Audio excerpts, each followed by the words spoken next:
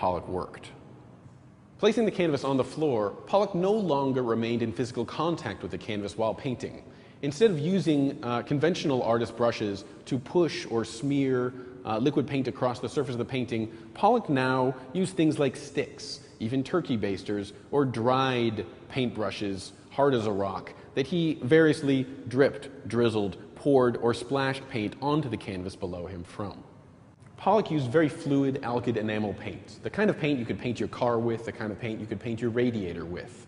Because the paint was so fluid, Pollock essentially drew in space, so that drawing elements would happen quite literally in the air before falling down to the canvas below. Sometimes thick, sometimes thin, a rhythm of poured paint would develop across the surface of the painting.